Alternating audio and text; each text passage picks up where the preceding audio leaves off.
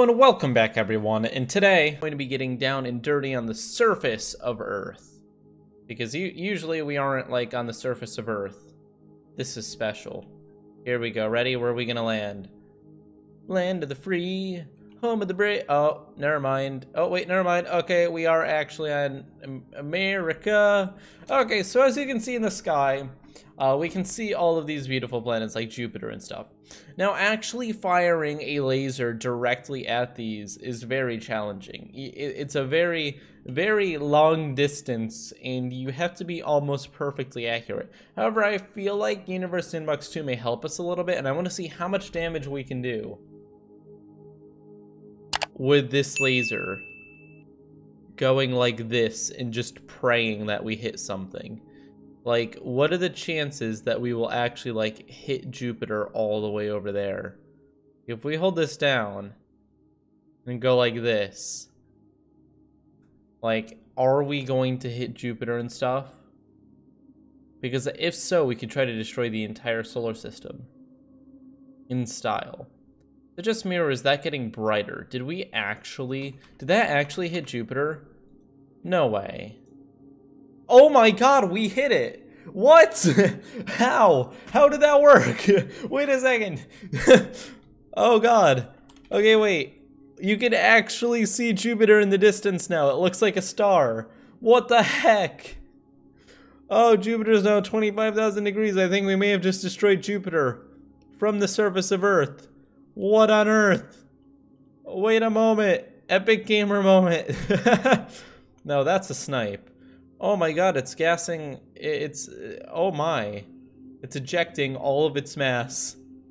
It just lost an Earth's worth of mass. Can we find it again? It's. Oh my god, it's so bright.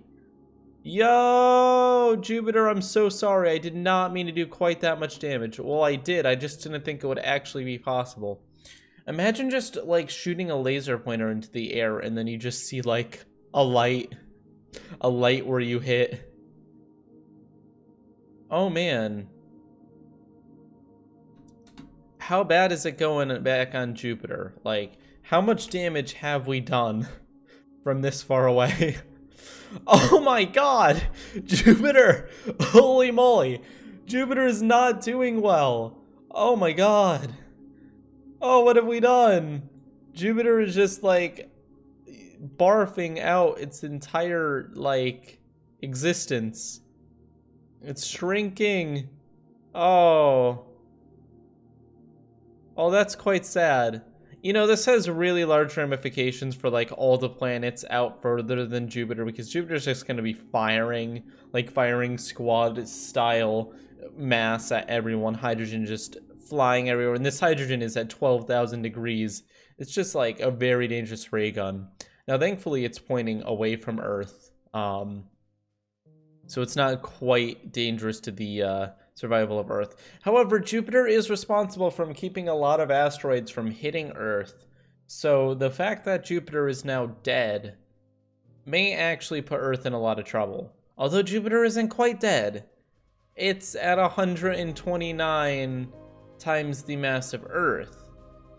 Oh my god, I have a way better idea. Way better idea. We should do this with every moon it'll probably be really laggy, but, you know. Where's Jupiter with moons? Jupiter with moons. Jupiter. Let's search Jupiter. Sun, Jupiter's new moons. Jupiter, exploding Jupiter, Jupiter and moons. Great, this is in the solar system, right? No, it's not. No, it's not. So, but since we already hit it, let's see what happens if we hit Jupiter with the laser. Do a little bit more. When its moons are there, like what's going to happen to the moons? Will any of them pick up any of the mass? Any of the matter that's being thrown out? How long will it take for the moons to run away? Like the close ones are definitely going to stay a bit longer. Um, Oh, you can actually already see a difference. They're already starting to spiral away from Jupiter. And Jupiter's mass, oh, it's actually dropping really quickly. Never mind. Wow. Look at that. You can, the trajectories are completely off. Some of them are about to actually escape. Like the far out moons are about to just say goodbye. Jupiter! Jupiter, stop dying! You, you need to stop. Your children are going to leave you. Oh, oh, the orbits are crossing paths now. Jupiter's dying way too quickly. So if this happened, these planets, uh, not planets, these moons that are being thrown out are being thrown out at quite considerable speeds.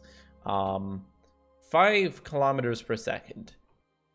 So let's see what happens if Metis were to, for example, strike Earth in this situation. Hello, Earth.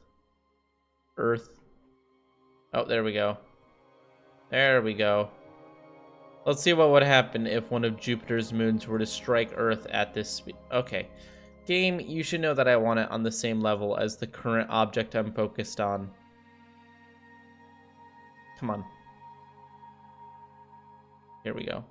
Here we go. There we go. Okay, let's see what happens. Slow things down a bit. Wow, that, that is still going quite fast. Like, this little guy is going to do a lot of damage. Well, I mean, I guess it's not really little, considering...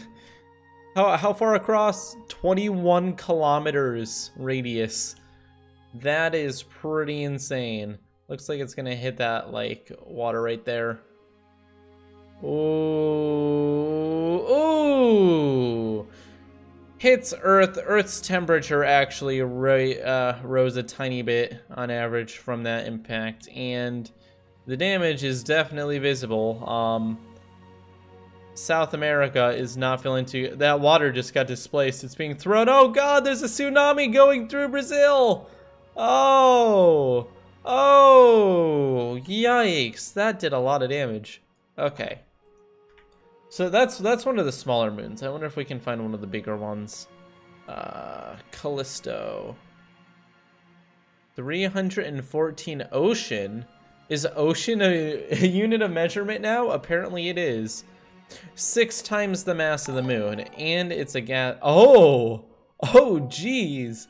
Yeah, that that'll that'll do a lot of damage. Having that just flying through the uh, the universe. uh, it'll eventually hit something. I mean, there's nothing to stop these. And I mean, they've got quite a bit of gravitational attraction, so... If it were to fly out at the perfect angle for it to hit Earth, it would... It would certainly be trouble. So this, kids, is why you don't fire lasers at Jupiter from Earth. Look at Earth just slowly get gobbled up. That is, uh quite the experience. I like how the music gets really intense when Earth gets killed. The music is like, no! And I'm like, yes! Kill! oh, and now Callisto is gonna do a thing. Oh, is it gonna get rid of all of its hydrogen? It is! Wow, this may actually end up creating a new, beautiful planet for aliens to live on.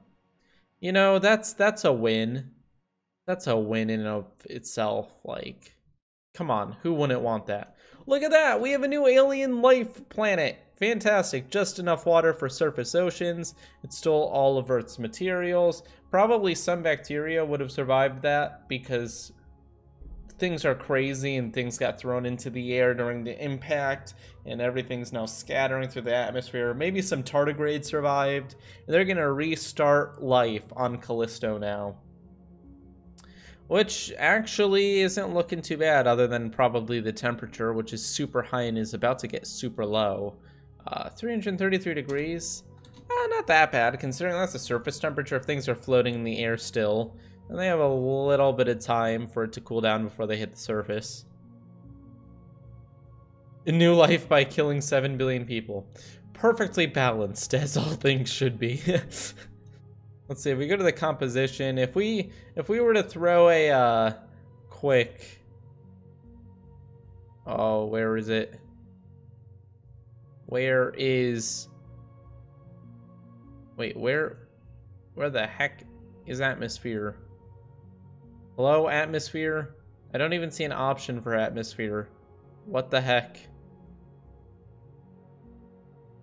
It's it's almost exactly the mass of Earth after that impact. It is actually the same mass as Earth. Like, that is so lucky. That is so, so, so lucky that it got almost exactly the same. All I need to do is give it an atmosphere and it'll actually be perfect.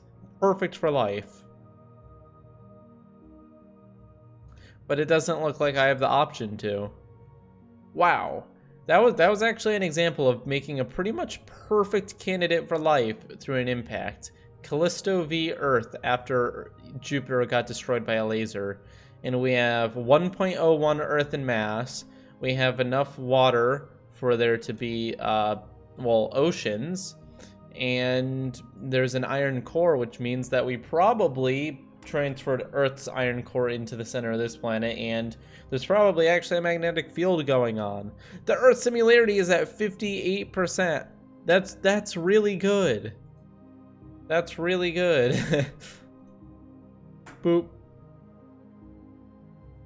Oh, we can't turn it? Okay, never mind. Never mind.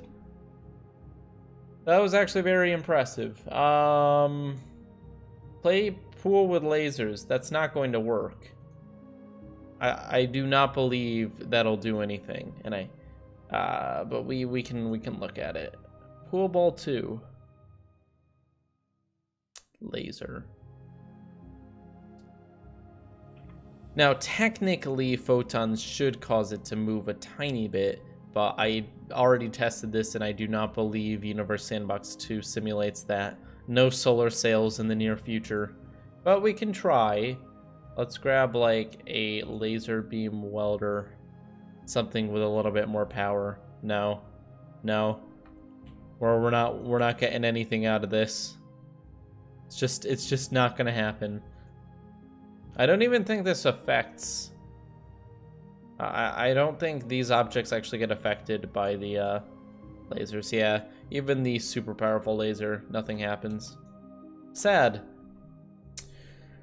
Okay guys, well, I think we've learned a lot today. Do not point your laser pointer at Jupiter, because you may just end up destroying humanity and starting a new alien race. Who knows?